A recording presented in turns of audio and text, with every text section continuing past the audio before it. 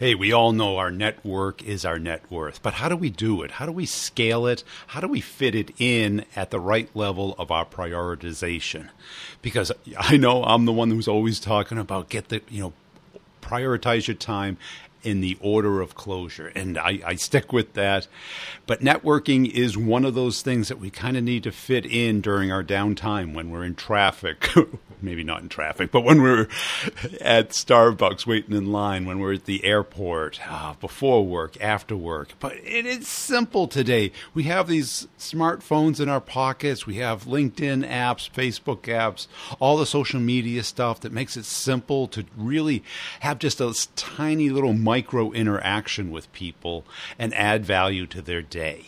So, me and Chad are going to talk today about how do you really network at scale and five ways to really work this into your routine and why it's so important and not something that you just do once in a while that make it part of your habit. Like prospecting cut out a little bit of time during the day. It doesn't take much. I'm talking about 15, 20 minutes a day. I did a video on YouTube about how how to do LinkedIn in 15 minutes a day. People were like, "Oh, you can't do it in 15 minutes." Come on, you can. You just have to really focus. Hey, but before we get into it, I want to make sure you're checking out covideo.com. This video email is cutting through the noise. If you're looking for a way of connecting with people, we all have to get used to video, being on camera, uh, screen sharing, all of this stuff. You know, makes us a little little self conscious, but it is so much more impactful. If you've seen the success I've had on LinkedIn with my videos, you get it. Also, are you connecting up with me on LinkedIn? Come on, don't be a stranger. Stop by, like some of my content as a little thank you for putting out a podcast for you. And I really do appreciate everybody who has done that. Uh, I really enjoy your comments, your likes. A little hatred now and then is okay too. But also, Nudge.ai and Pipedrive have a coupon code to get one free month. It's called Brutal Truth. Pipedrive has got some great new features. They got a lot of integrations. Make sure you're checking that out. You can integrate it with your phone, integrate your email. They also, if you're local, they show you maps of where all your customers are. It's really becoming an insanely powerful product, and I love it. I've pretty much standardized on it, and I I'm on the phone with them all the time about what I'd like to see put into it.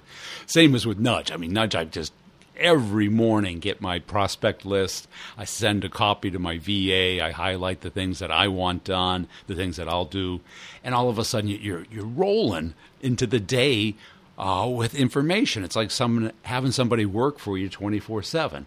But enough about that. Let's get into this. And at the end, I'll sum up how things are going with the classes. Hey, Chad, let's talk about networking. I think this is something that uh, is, you know, something that people don't do proactively, but if the people who do it and have done it over time, when it's there for them, it's like money in the bank.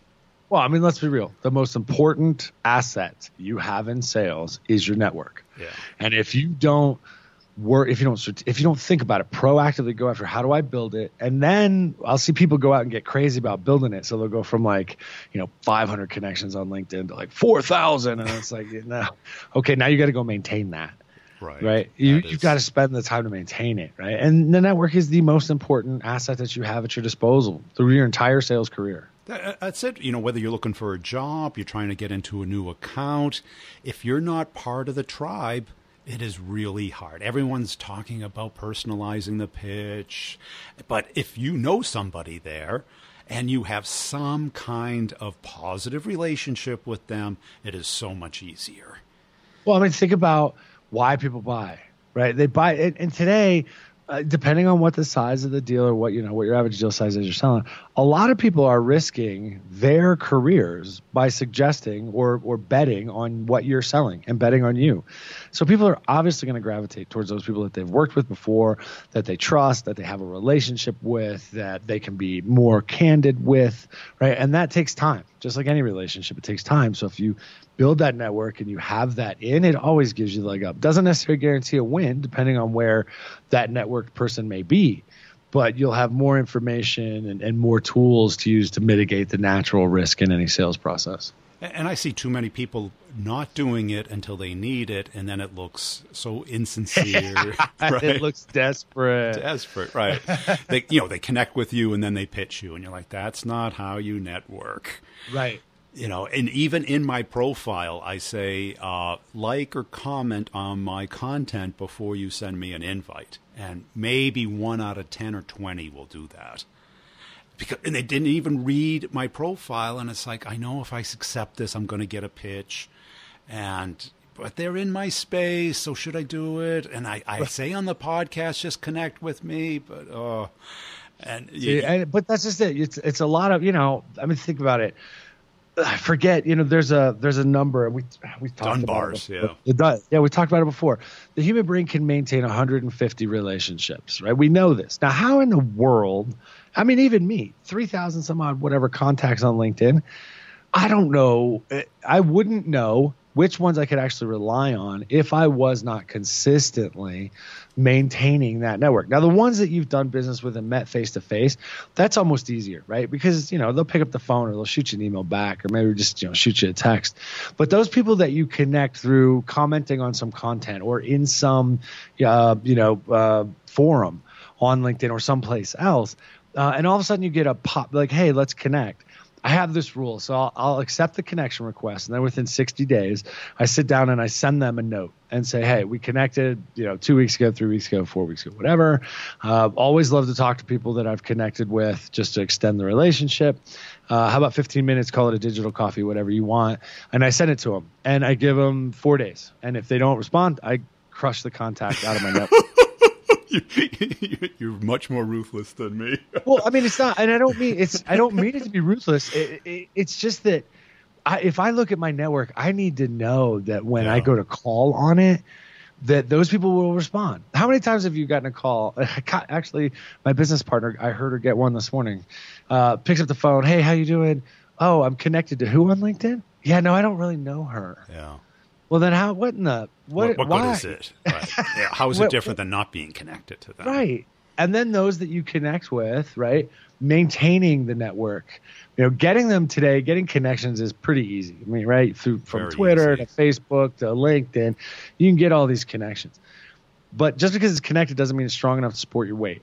So then you've got to actually put in some effort, right? You have to have phone call or go grab coffee at some point or yeah. Continually interact. Um, it, to me, it's funny. If I connect with somebody on LinkedIn that I've never met and have not had on the podcast, have not talked to, whatever, it takes, it feels like it takes more effort to communicate with them just digitally for say three months until you get to that point where you kind of feel like you know each other versus just jumping on the phone for 15 minutes it seems that accelerates that connection point.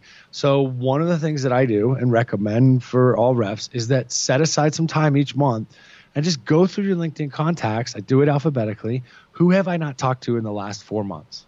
And just shoot them an email. Hey, you got 15 minutes for coffee, right? Just to touch base, no agenda, what's going on? Or if it is going to turn into a prospect, do a little bit of research, right? But just keep that network you know, fed. It's like i am now. I hate to use a garden analogy because I can kill anything that's green, but it is like a garden. Yeah. If you don't take care of it once you get it, you're not going to be able to rely on it, and you're, and you're not going to survive off of it in sales. 100% accurate. And one of the smartest things I did during my career was take the calls from headhunters because yep. they were the connectors, you know, from the Malcolm Gladwell book, um, Tipping Point, because yep. they knew everybody in the industry. And I'd always take their calls, I'd always call them back. And if I wasn't interested in the job, I'd, I'd, point them in the direction of people who were, but I'd ask, I go, who's making a lot of money? What's the hottest company out there? Who's hiring? What have you heard about this? And then I go, here's some, some people, my competitors. I'd give them. my competitors never lasted more than nine months at their job. oh, that's great. And and it was such a great tactic because all of a sudden you, your competitors always have a new rep that doesn't know what they're doing, doesn't know anybody, and all of a sudden I'm in the account. I know they they can't keep people. How good of a product company can it be if they can't keep a good salesperson? and then I would call my ex competitor and ask them about all the customers because they'd have a you know probably a bad taste in their mouth about their last you know account, their last right. company. Um, and I also learned from my dad, and I, I, used to. He was a sales rep, and so was my mom, and he had this habit of meeting somebody for breakfast every morning, and whether it be another sales rep, a customer, and he goes, "Look, I can have you know a great meeting and still get to work by nine, right? And I, I got to eat, you know, and everybody likes a nice breakfast." Oh yeah, well, it's that. I, I mean, I see all the stats. I mean, back when we started selling, it was a face to face deal. Like I was, I mean, 100%. I flew all over the country. You know, it's hard actually for me to look back and think at those years where I had, you know, 140,000 air miles all domestically, never left the continental US because it's, you know, out Monday to a different city Tuesday night, different city Wednesday night or Thursday morning, home Friday or Saturday. And you do that all the time. Um, and then you see the stats come out that say most people today prefer to be sold to virtually. I kind of understand why. I get it but it's it's also easier to say no to somebody who's not sitting in front of you. By the yeah. way, um, I get it, but there is nothing like sitting down face to face. Do I want to work with you? Do you want to work with me? Can we actually make this work?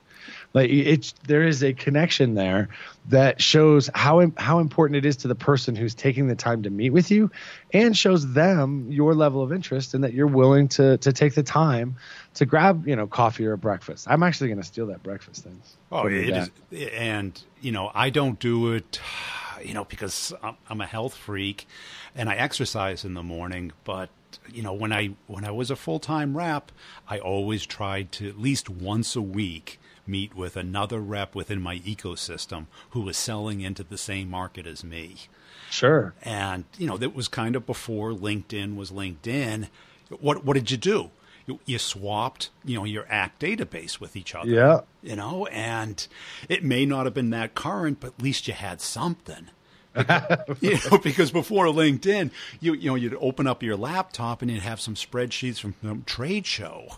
Oh yeah. Oh yeah. Cut and paste that. Oh yeah, painful. And, and to the face and face to face thing. Let's say you have a serious problem with your house. Like I had this weird problem uh, where the, my pipes would rattle when you turned the water on. Now it was insanely disturbing. Uh, you know, because every time someone turned the water on, it would go blah blah blah blah blah blah blah blah. Now, I can't explain this on the phone. I can't go to YouTube to figure this out three plumbers before we figured it out. I had my water meter changed, and it was this solenoid that, you know, and this one plumber figured it out. Now, think about someone's business. Everybody's got business problems. You have business problems. I have business problems. You know, we can go and talk to each other, but if somebody really sits down, like, have you thought of this? Have you thought of that? You know, those things take dedicated, focused time. And you're not going to get that on the phone, through email, through LinkedIn. Oh, no. The, you get more from a human interaction than you're going to get just reading articles, especially the way people read today, right? Or watching other people's videos. Like there is something that, that, I don't know. It, there's a connection, right? There's a there's a hey, you've been in the trenches too. Um, you know, I would love to hear your experiences. And there's something uh, that makes it more uh, real that you can attach to when you're sitting across from them. And it's the same thing when you're selling to somebody. You'll be able to tell. It's I love email because it's fast and it, you know we can move stuff forward. But when you're talking to somebody and they say, "Hey, these are the three problems. Like problem number 1 is this, and problem number 2, and problem number 3 is this." And man, let me tell you, like you hear it. Yeah right? And you hear, okay, he may have given that to me third, but we need to dive into that because that was where we saw the emotional reaction, the the energy level come up, the fear. and that's come, it. I come mean, in. Where do you spend the end, the last month of the quarter? It is always in front of customers. Why? Oh, yeah. You have no sense of what's in that CRM is real, how real it is, where it is. You have to talk to people. And and why hasn't psychotherapy thrived online? Right? Have you have you ever? So this may be too much information. yeah. I have. Let's like get I into said, it. like I said, two divorces, right? So I have done uh, therapy with my shrink um, on the when I have been on the road, and it is so awkward. Yeah. It is like now sitting in the room, we can have truly dynamic conversations where I can we can we can iterate on a point and the communication is much more than just verbal um, or visual. I can tell more from you know the way her voice fluctuates, auditory. I get things when I'm present that I don't get through you know the Skype camera or whatever. Or you know I see her looking at you know something off in the distance, and now I'm wondering, well, what's more important than me, right? Because I don't know what's off screen. It doesn't work. it, it just does. doesn't work. Yeah. And I think that's the quintessential example that you, you will spend a half hour getting there, a half hour getting back, and a whatever it's 50 or 60 minutes in front of the person, and you probably leave feeling 10 pounds lighter. yeah, exactly. because it is something about it. Maybe we can't describe it, but that's why we do it. Right without a doubt. And the other thing I don't see people do is not only getting in front of them, but when you have those meetings, and you you mentioned the ACT database. Today we turn those. I mean, we myself and my business partner both parts of two or three what we call lead groups, right? So these are all sales reps that are actually not in our they're not selling the same thing we're selling but they're accomplished reps in different markets. And we get together uh, for coffee or lunch or breakfast or something twice a month and we go okay i want into this account. Who do you know? You want into those accounts. I know this person and that person. And i'll make the introductions for you and so what i often see is in, when it comes to the network people aren't asking for hey who else who do you think else i should talk to just like we tell people to ask for referrals who else do you think I should talk to? And and continually reach out with no agenda other than, hey, this person said you were worth talking to, and I'd love to get your perspective on something. And and how do most people prospect? They do it just the opposite. They go right. to level three instead of level one to level two. And right. I'm, I'm using LinkedIn um, terminology here. Uh, but you know, level zero is the people that you've actually met. They know you, who you are. You have some kind of connection. You've helped each other. Right. You've given to them. And that that concept is just unthinkable. I, I did a video that I posted on LinkedIn. I talk about giving, and everyone, what do I give? They have no idea what they give because they've been taught to ask for 15 minutes, earn the 15 minutes. And I, don't know if you've been on LinkedIn where you change your job or you have a birthday and you get bombarded with oh the, yeah the button pushers. Uh, and, and it, they the, the intent is nice, but the effect is actually negative because you're bombarded with a hundred of them, and all they did is hit a button, so you know there wasn't much commitment and anybody who's in a you know real services business like real estate or financial services birthdays are critical. What's the most important day of your year? Right? And when somebody close to you forgets it how does it feel? But how, uh, about, how about if a stranger calls you the day before or the day after? How was your birthday? Looking forward to your birthday? Who does that?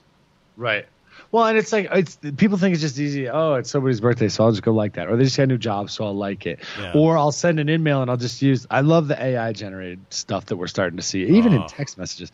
Oh, hey, congrats on the new job. Okay, so you took two clicks instead of three, or instead of one. That's awesome. I feel great. I feel really. That's great. Do you even know what new job I have? Kind of thing. Yeah. Take the minute, and write two sentences. You know, make it about them uh, and do that outreach. It, it, that goes back to that nurturing point we were talking about earlier. And that's it. That connection that you you're establishing with no ask. Right. Because what always comes after the compliment, it's the ask, right? It's the hey, let's get together for 15 minutes. Let's. Uh, I'd love to hear more about that, or or here's my PDF about what I do, and you're like, oh, you know, we don't even know each other, and I've got to read your book. Yeah, I don't want to. Why am I reading this? You haven't shown me that it's worth my time to read it. Let's and, and, and how many bloggers send you a request to like their stuff when you've never uh, even seen them before? Yeah. Hey, do me a favor. I just put up this article. Would you like it? And then you've got people that'll just do it uh, because we're you know we're getting very Pavlovian about it, uh, and not even realize what they're liking. That they could be liking some serious crap. Yeah, and and that's it. And it's like when somebody I see them constantly commenting on my stuff and they ask me, I'm all for it. But if you're a complete stranger, not, not only do I have to read it to make sure it's even applicable to my audience, uh, I don't know you. And, you know? and I think people who really can use these tools, who really can leverage them, it is so powerful. and you have to be able to do it strategically, right? So I, I see a lot of, um, I see a lot of people that are like, oh, I'm gonna, I'm gonna do it, but they don't block the time. They don't think about it, right? Yeah. Because of the speed, and we, we kind of talked on this last podcast we did, that if you don't put in the time, if you don't build in the time, we used to call it staring out the window if you don't put in the time to seriously think and apply the brain cells, right, to anything that you're doing, whether it be maintaining a network or any part of sales, uh, you're gonna just start running and not even not even know the hurdle ahead of you how high it is.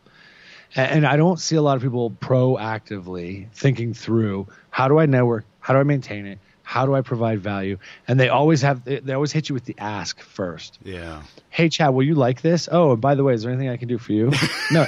Uh, yeah, stop sending me bad emails. Right. Yeah. You don't know me. We might even be competitors. Who knows? And I think the time blocking thing is critical because that's the number one power tool of time management is, you know, block. You know, even if it's 15 minutes a week where you are on there, you know, make sure your profile looks good. There's just so much uh, free advice on how to use LinkedIn and Twitter and whatever you use. And I have a friend who's a realtor, and she just cooks on Facebook. And she, every, she knows everybody in her geography, in her territory, and she has become the realtor for everybody. Right. And she just lives on Facebook, and it works for her. And if you can make this work for you compared to, you know, the old school of writing out a card or something, it, it is insanely powerful. Hey, I hope you enjoyed that, and I hope you really do try and build networking into your daily routine. I don't think it's something you have to set much time aside for, but if you don't connect with people consistently, you're forgotten. And today is a very noisy world, and there's a lot of interruptions. But if you add a little bit of value to people's lives, and it's kind of like learning about your territory and building up that network. And I, I you know, the Dunbar rule of 150 people, I'm not sure that that. Uh, really exists as much anymore because you have so many connections. And if you're sharing something that's valuable to other people, if you're liking, if you're commenting on things, you become known. And all of a sudden, people are aware of you, your company, and what you do. And so much of sales is really timing. It's being at the right place at the right time, saying the right things. that's why this interruption based selling that we have today of cold emails and cold calls is so ineffective. First, everyone's doing it. Second, everyone's doing it wrong. And third, people are sick of it. And that's why I came up with the course Start the Conversation, Get the Meeting. And this week, for the people who are taking it, I have a case study uh, already. Somebody, one of the early students, is just killing it and having a ball, crushing his number, getting these meetings. And I'm going to put probably a soundbite of it on the end of the podcast next week where he's just amazed that he's getting these type of relationships where people are just sending him pictures of their kids and we're connecting as human beings and you can say well what does that have to do with business well to, have somebody tell you the truth to have them give you your time there has to be a trust factor in there. And you, are not going to build trust just off your product knowledge. It's going to be off of rapport. And rapport is based off of commonality. So when you learn how to do this and really kind of I break down both the science and the art of doing it, then you will be able to have, be so much more effective. And then you can build a team around you and then outsource it. So I'm at this kind of level three of it right now where I've outsourced it and I, my, my schedule is just booked, you know, six weeks in advance, and it's now systematized. And that's what I want to do is help you get a system for you to get into the accounts that you want to get into. Is it does it work 100% of the time? Nothing does with people, nothing ever will. But this is really the the best approach that I have found. I've been teaching it in person for 5 years. Now you can get it online go to b2brevenue.com, look under training, and what you'll see is it's a year long uh, access to the course. So there's office hours. So we're already into eight months of office hours. So that's 16 hours of additional case studies and examples. And uh, there's a lot of people who want private uh, consulting on it, and I'm, I do that under the auspice that I can record it and share it with the team. Uh, that, that's taken the course. So you really get a sense of what's working today. And what, what we find is that the, the little differences that you make as far as the day of the week, uh, the amount of time in between has an enormous impact, and it varies, of course, by person. So make sure you're checking that out. If you're having a hard time closing complex sales or really coming up with a system for that, I have closing the complex sale course as well. There's also two free courses there. There's one on your LinkedIn profile, and believe me, a lot of people need that. It's just something that people just don't understand the nuances of LinkedIn. I show you how to get around the bug of your company logo not showing up, which is about 80% of the profiles has that.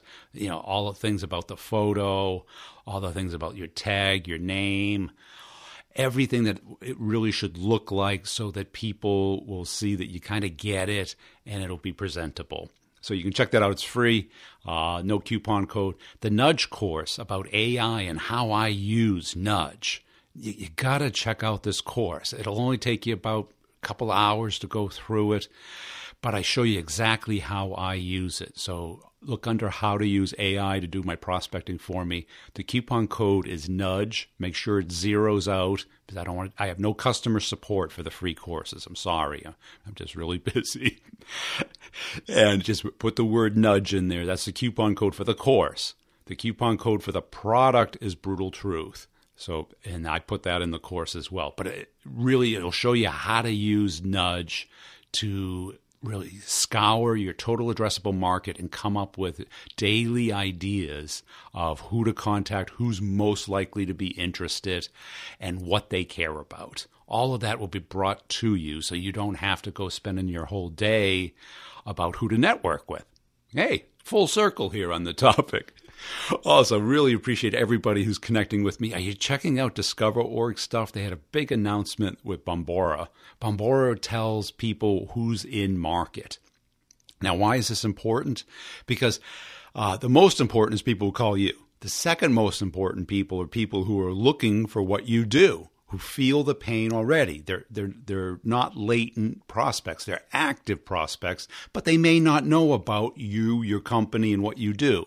But they're reading blogs. They're uh, searching for articles, and they're looking for stuff about the problem that you solve. So why is this critical? Because those are the people that the timing is right. So much of sales is timing. Think about it. Think of all the things you bought.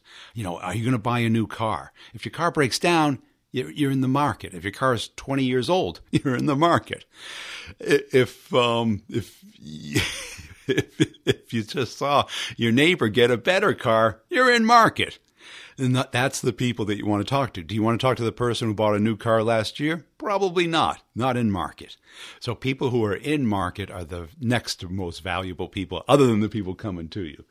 So please make sure you're doing that. As far as the Sales Questions podcast, you can email me your questions. I'll get to them as fast as I can. I do not reply to 99% of the LinkedIn requests because I get like 30 a day. And I, I just, I got to the point where I was just overwhelmed and I just said, send questions. I answer via the podcast. And I apologize if that seems impersonal.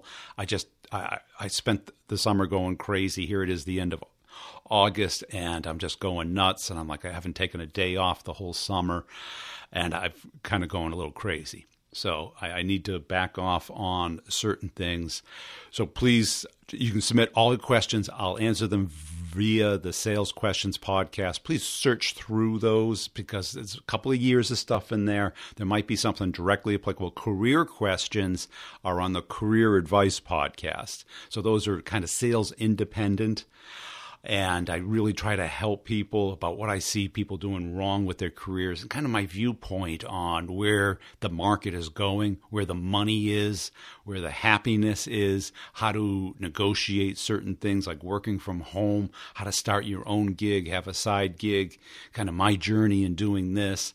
And I, I try and debunk a lot of the BS out there on that podcast, not selling you anything. You know, if you want the course, is great. If you don't, peace and be with you, you know, because I'm fine with it. But but don't just ask me all the questions that are in the course and try and get it for free though. But I mean, plus you need and why is why is it a year? Because you need to like try it, see get some results, share your work, see what other people are doing, and that is how you learn. It it it's not just knowledge; it's action, it's results, it's getting things done. That's it. Appreciate you listening. We'll see you next time.